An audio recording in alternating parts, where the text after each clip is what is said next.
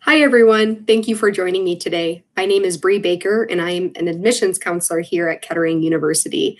Um, today, we are going to be talking about the difference between Kettering co-ops and internships. So people typically use the words co-op and internship interchangeably, but there are actually quite a few notable differences between the two. So the first notable difference is that here at Kettering, co-op is integrated into all of our programs. Um, co-op is something that is mandatory for all Kettering students, regardless of their major. Uh, we firmly believe that the marriage between rigorous academics and relevant work experience is the key to a successful career, both academically and professionally. So it's really important to, to sit in classes, read books, listen to lectures about your area of study, but to actually get the hands-on experience in the field is where the magic happens. So you wouldn't learn how to play soccer by just reading a book like Soccer for Dummies, right? You would actually want to get out on the field and practice. Um, and that's exactly how we do things here with the with the academics and the work experience. So internships at other universities, they're not always required for academic programs. They may be optional, and sometimes you do have to pay for um, the credits to for the internship to actually show up on your transcript. So you may have to pay for three or four credits um, for that particular internship.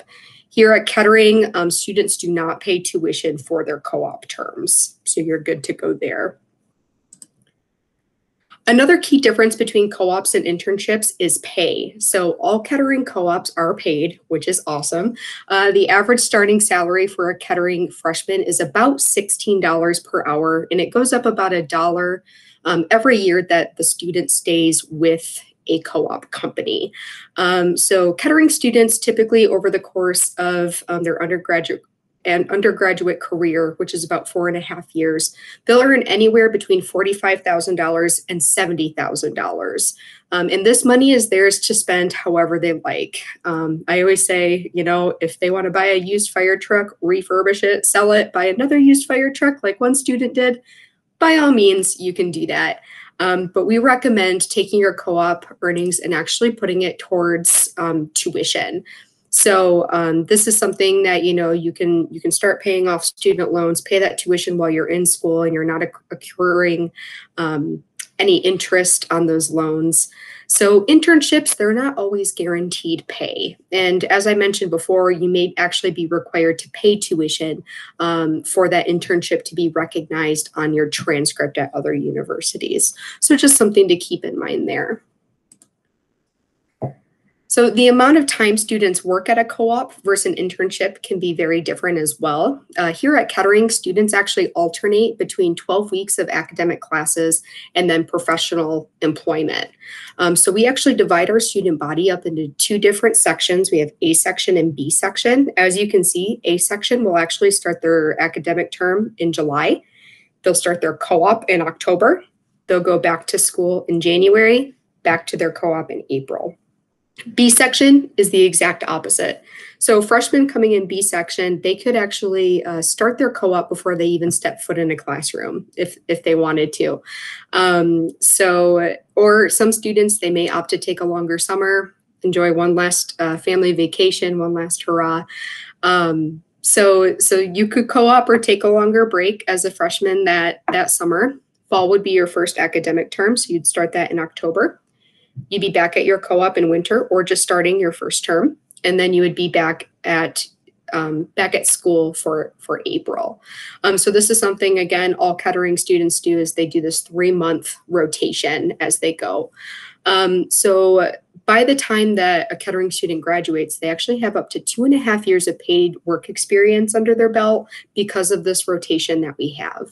Um, internships are typically more short term and they may only last one school term or maybe they'll just be over the summer. Right.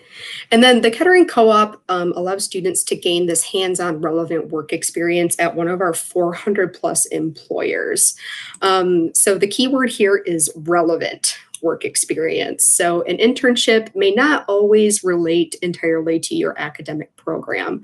So we actually have employer partners across the nation. So if you want to explore something a little bit closer to home, you could have the opportunity to do that or you can check out another state. We have opportunities um, um, nationally as well. So because students are on this three month rotation, they can work on more detailed, significant projects, and then they can take on more challenging work the following term. Um, which is pretty cool. So this really allows students to bulk up their resume when they start looking for full-time jobs. And speaking of bulking up your resumes, uh, Kettering students graduate with about two and a half years of professional experience before they graduate, which qualifies them for intermediate level positions. Uh, so the average starting salary for a Uh, Kettering graduate in 2019 was $85,000 out the gate. And this was all because of the experience that they gained while they were in college. So internships don't always provide that that in-depth work experience. Um, they can be valuable experiences for sure, but graduate they graduates may be more apt to start at an entry level position. So because at your co-op you already took care of that entry level position stuff, you're ready for for that mid range, um, that that mid uh, position, which is awesome. So that concludes today's segments about Kettering co-ops and internships. Thank you for joining me, and we look forward to chatting more in the future. Take care.